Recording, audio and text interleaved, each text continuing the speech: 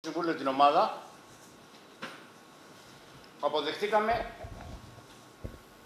τα πάντα. Κοιτάζοντας όμως τα βιβλία της ομάδος, αυτή τη στιγμή, της προηγούμενης διοίκησης, δεν θέλω να πω σε περισσότερες λεπτομέρειες, αλλά αν τα αναμοχλεύσω, θα πάνε σπίτι τους και πολλοί στη φυλακή. Εγώ δεν θα ήθελα να μπω σε αυτή τη διαδικασία. Αυτό έχει, έχει τελειώσει. Έχει Ένα πάει- θα σας ό,τι πω. είναι- Όχι, κύριε Ένα θα σας πω. Όχι, θα σας παρακαλέσω Ένα εγώ θα πολύ. σας πω. Ε, Δεν είναι καν εδώ μέλη της προηγούμενης διοίκησης. Θα σας παρακαλέσω να το Επειδή- ανακαλέσετε και να μην συνεχίσετε το Ανα- συγκεκριμένο ανακαλώ θέμα. λοιπόν, ανακαλώ Ναι. λοιπόν για να μην ε, φέρω λιγάκι τρικυμίες εδώ πέρα. Ανακαλώ. Αλλά όποιος θέλει κατηδίαν, κατηδίαν να το συζητήσει το θέμα μαζί μου, ας έρθει να το δείξω τα βιβλία. Σε μένα.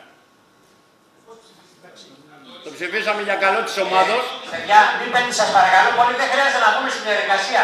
Δεν, δεν, είναι, είναι, σαν, είναι σαν να μην λέχθηκε. Το πήρε πίσω. Τελείωσε.